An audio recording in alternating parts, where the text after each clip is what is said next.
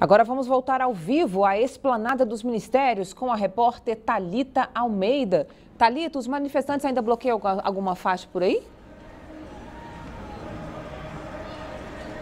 Continua assim muito complicada a situação, manifestantes continuam por aqui, mas agora um grupo menor, viu, Carol? A Polícia Militar informou que essa maior concentração já se dispersou aqui na área central, mas também nos deu informação de que um grupo de aproximadamente 40 pessoas segue neste momento para a Asa Norte. Então a previsão é de que o trânsito por lá também fique muito complicado. É importante recapitular e deixar o alerta para o motorista, né? Evitar a área central neste momento, principalmente essa região região aqui da rodoviária do Plano Piloto. O trânsito continua bloqueado, continua sendo desviado e o reflexo é em outras vias, né, aqui do Distrito Federal. Então a gente tem uh, o Eixão Sul com trânsito congestionado, Estrada Parque Aeroporto, EPGU, todas essas vias com trânsito muito intenso devido a essa paralisação, esse bloqueio que aconteceu ainda no início da tarde, por volta das 4 horas. Então uma situação dentro aqui da rodoviária, aqui no principal terminal, na área central da rodoviária, é controlada no momento. Ainda tem um reforço da Polícia Militar por aqui,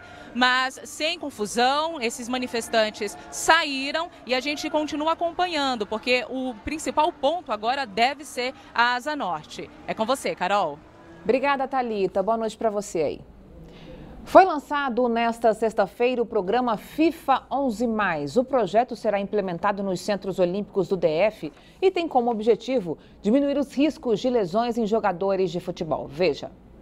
O programa foi desenvolvido por médicos da FIFA. O especialista em ortopedia esportiva, Paulo Lobo, explica que a ideia é diminuir as lesões nos atletas.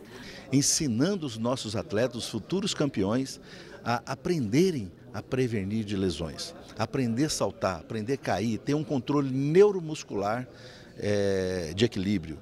O projeto é pioneiro e vai beneficiar, nessa primeira fase, 650 alunos dos 11 Centros Olímpicos do DF e já deve começar em abril. Um trabalho de prevenção, prevenção àqueles crianças que estão iniciando sua prática esportiva dentro dos Centros Olímpicos e Paralímpicos.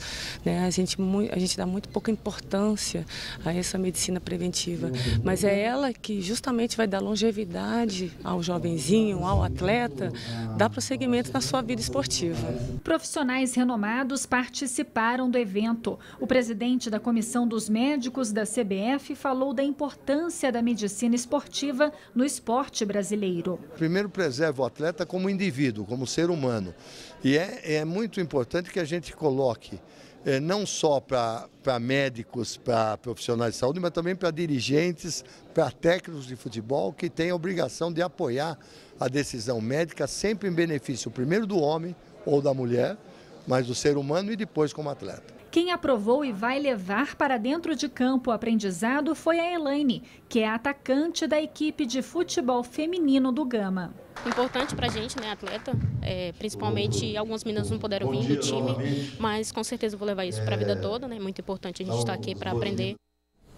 Veja a seguir as dicas de diversão e o resultado do sorteio de ingressos, hein? Daqui a pouquinho, até já. Música